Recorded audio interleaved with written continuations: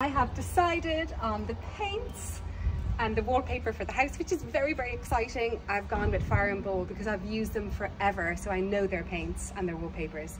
I love the quality, the texture, the unique styles, and the unique paint colors that they have. This is so delicious. I think it's warm and it's welcoming and it's rich. It's called a reddish, a deep reddish brown in gloss, and I just love it. It reminds me of chocolate. And I feel like the front door is like a really important color to choose. It's like your statement. And yeah, come on in. So I've matched that with the archway that's going to be in the kitchen. Just this arch to draw the eye into the house to make the house feel immediately bigger. Then I'm going to wallpaper all of this wall with this beautiful new wallpaper, which is a collaboration between um, and Ball and Christopher John Rogers. He's a fashion designer, but the whole design is based on food for the whole collection. This is carte blanche stripe wallpaper with a delicious macadamia, Au Lait and licorice stripe. And then I've picked up the licorice in the skirting board with the licorice paint. That is going to go all the way here, all above the loo. And by the way, I'm keeping the sink in the loo. Thank you so much. You're so right. it's going to go wrap all the way up the staircase. And the idea is that there'll be a flow to the layout of the house.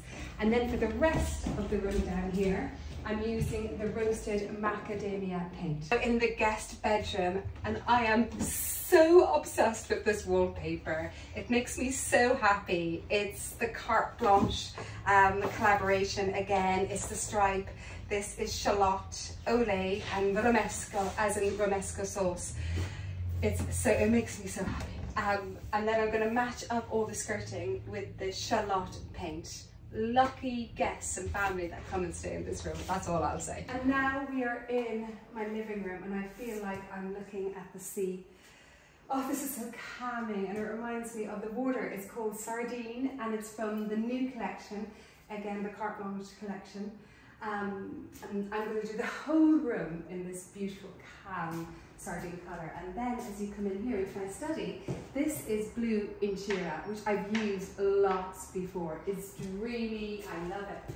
And then when you come into the studio, you turn around, and this is where I'm going to do my library, all shelving, and I'm going to do it in that vibrant, gorgeous, fun romesco. So it'll be a little surprise as you come around to see all the shelving in this red romesco with all the books on it. I think it's going to be amazing. Now in our bedroom, and I wanted a really calming colour here. So I've gone with the setting plaster dead flat, which is a really lovely soft, kind of dreamy pink. Before we leave the bedroom to go downstairs to the kitchen, I wanted to show you an update. The arch is done, you know, into the bathroom. And doesn't it make a big difference?